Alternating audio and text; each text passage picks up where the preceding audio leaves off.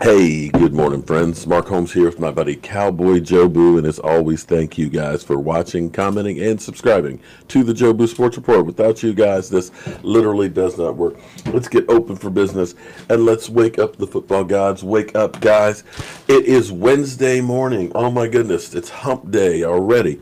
Uh, tomorrow's Halloween, so make sure you got your candy ready and be ready for some tricking and treating. Um, and we are at the midpoint of the season. Our, our, players have actually the day off after having a light practice yesterday. Michael Bennett had his first practice with the Dallas Cowboys, and it appears that he's already fitting in really, really nicely. Demarcus Lawrence has kind of uh, welcomed him and says that he's got hot boy traits. Oh God, hot boy, hot boy. I, I hate that freaking name. I'm sorry. It does not instill fear in me. I like Purge Squad a lot better. But until we really see a completely defensive domination, something that literally destroys a team, we're going to keep that on the, the side burner. But I'm glad that he fit that he's fitting in and feeling at home because I think that's the difference maker. I think that's a guy who can just kind of help turn up that defensive pass rush up just a little, just a little notch with a little edge of craziness that'll help you get there a little further. Um, Cowboys tried um, to make a deal for Adams. You know, they're constantly, as Stephen Jones says, player acquisition is a 365 day a year job. But in the end, two number ones was too damn much. And I think the Jets actually made a mistake because now you got a guy who's kind of like, you know, the fuck? You were going to trade me. You guys told me that I wasn't on the trade block and things, and you went behind my back and tried to make a deal and stuff. So they've definitely poisoned the waters. And sometimes you can get too damn greedy and it hurts you the Redskins are definitely in this boat right now because, you know, they had some deals in place, but they wanted too damn much. And instead of being able to say, hey, you know, we got a first round pick or maybe a second round pick for Trent Williams, he's unhappy, he's gone. Now you got nothing. He's back probably won't play at all this year because he's going to have some kind of ailment or something that's going to prevent him from being able to practice. He's going to get another year closer. He's going to be a complete distraction. And so, if your goal is about winning, you got to move him. And now teams are going to know that you're desperate. So, you know, you you sometimes can make mistakes in trying to get too much. And on the flip side, you can make mistakes by giving too much. And the Cowboys, well, giving up two first rounds was too much. They were talking about a first and a fourth, and I'm not sure I wanted to give up that much. I mean, that's a lot. Um, and unfortunately, or fortunately, or however you want to look at it, once the Cowboys do something and it works out, you've just imagine that, oh, that's going to work out. So let's just keep tra- trading number one draft picks, and you know we're going to be golden. No, it doesn't always work that way. Because sometimes you bring in guys that you think are going to be the difference maker, and it ends up blowing up in your face. You don't think Cleveland's got buyer's remorse right now for Odell Beckham? You don't think they do? You don't think the Jets have buyer's remorse for Le'Veon Bell? They tried to move him yesterday, and with the salary that he's getting paid and his production, ain't nobody paying that. So relax on the Jamal Adams, you know, not getting him relax. We're okay. But what I actually want to talk about, because it is a Dallas Cowboys off day, I want to go back a little bit. I am constantly beat down with people that tell me that I'm an idiot, and I am an idiot. I'll be the first to tell you that. Um, but they're just, they laugh a lot of times when I put something out there. And one of the things I put out there, and it actually started from the very first time I did a video about Dak Prescott. I said Dak Prescott back when he was in college that he's a lot like Russell Wilson. I said in the off season about the power of four. And that's where we started out. I, I got my shirts, Power of Four.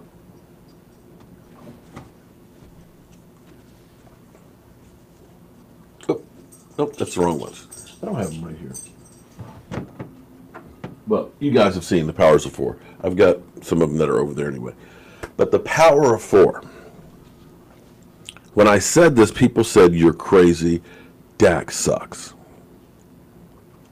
I said, fourth year of quarterbacks is generally speaking when they take off, apparently, except Carson Wentz. We kept getting told that Carson Wentz had a high ceiling, that Dak Prescott, you know, he doesn't have that high of a ceiling. And I said, no, they're wrong. I said, what happens is there's a normal maturation of a quarterback. You can see it in most quarterbacks. First year, sometimes they come out, play like gangbusters and stuff, like, you know, you see Baker Mayfield. And then the second year is the sophomore slump sometimes. You know, they kind of go downhill. You know, they kind of come back down to earth. Defensive coordinators have a book out on them and things, and they start throwing more stuff at them. You know, the offenses get more complicated. And a team that was successful sometimes, because of playing tougher schedules, also makes it more difficult. So you see the progression go down. The third year is the righting of the ship, and usually the fourth year is the year that they take off. And I said that. And for me, I said this year is the pow- about the power of four. Dak Prescott, fourth round draft pick. His mother's birthday, the fourth. His number, four. His season, the fourth year. And that's where we, we got a Power Four shirt. We got it autographed by all you great fans, and we gave it to Dak. Because I believe in the fourth year.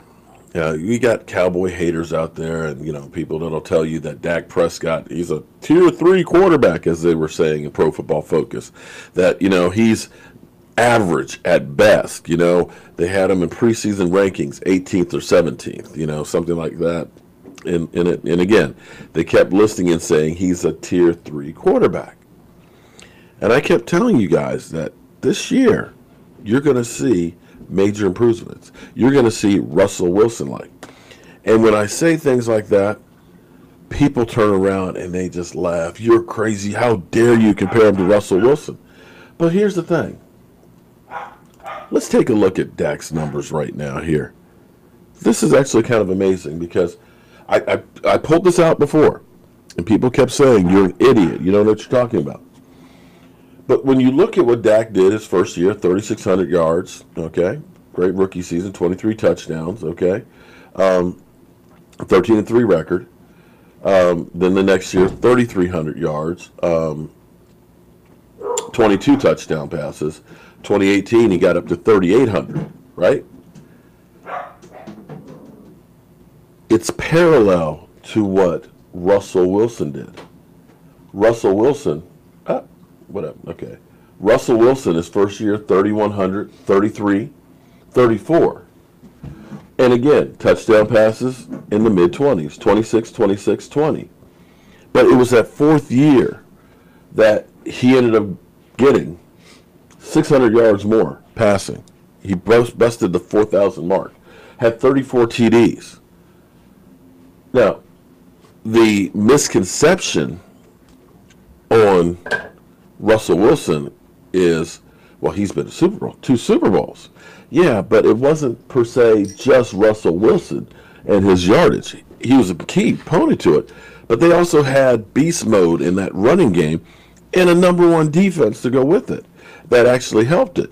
So you have perception and reality. Don't get me wrong. And, and, and Seattle Seahawks fans, don't come jumping at me. But I'm saying is Russell Wilson is a much better quarterback today, now, than he was when they won the Super Bowl. And it's because the team had to evolve because they no longer had that bellwether back in a beast mode. They didn't have that same defense. Now more of that is on his shoulders, and he's taking that load. And so as you look at this, parallel, Russell Wilson and Dak Prescott, they're right there the same. They really are. And this is where the power of four is. Now, currently, we go to NFL stats. Now I know what people will say. Well, Dak is all the way down here in yardage with only 21, 23. He's not up there with like Jared Goff. He's got 2,300 yards. Well, Jared Goff's got one more game too. um, as well as Aaron Rodgers, as well as Philip Rivers, as well as Andy Dalton as well. And Andy Dalton, uh, FYI, has been benched, um, and so is Tom Brady. So once he gets another game underneath of him, he'll be back up there. But if you doubt what I'm saying, um, the only person who's actually averaging more yards passing per game, 311 yards. Pat Mahomes, Matty Ice at 310, and then there's Dak Prescott at 303. So currently, Dak Prescott is on pace to throw for a thousand yards more than he has any other season. He's looking at about 34 TD passes. I'm sorry, 34 total touchdown passes. Not bad. Not bad considering. Now I know a lot of you will still say Dak Prescott is not that great of a quarterback. This, that, the other. You know, he's still tier three. No, okay, you're you're just an idiot that just hates him. Then you have to go by and you have to honestly admit that Dak Prescott has gotten better from last year where he was playing outstanding to where he is now, being one of the top quarterbacks in the NFL.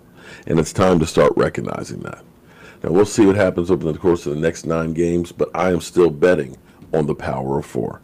I'm Mark Holmes, and well, I got some work to do as we get ready to go to Puerto Rico on Saturday. Thank you, everybody, for getting us over a thousand uh, subscribers. Um, actually, trying to live stream, but YouTube um, keeps saying that I'm not eligible for it. So I'm trying to figure out if it just has to catch up in their system. And um, you know, maybe it'll take a day or two and we'll be able to live stream on that channel. But thank you, everybody who have subscribed to that channel. I really and truly appreciate that. And we're going to continue to work hard to make sure that you guys have some great knowledge, great videos, and things about the Dallas Cowboys' life and, of course, home improvements. And I'll see you guys soon.